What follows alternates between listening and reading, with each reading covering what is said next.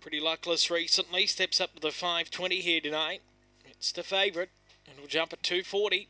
Set now. They're racing. Amiga Vera stepped just fairly, but accelerates well, and it's going up to challenge Diamond for the lead as they go out of the straight. But it's Diamond who will kick away and lead by three lengths on Reality Shintaro, who drove up to second. The outside Amiga Vera back in fourth placing Millie's Choice. They're followed by Miss Taryn, a gap then Anjing Bettina and Etched in Black.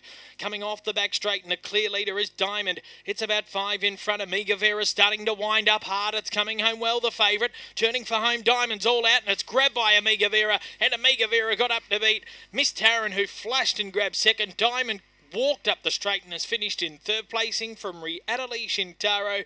Then came Anjing Bettina, well back Millie's Choice and Etched in Black, time 30 and 97. Favourite wins Amiga Vera for Barry Harper. Got into a nice place.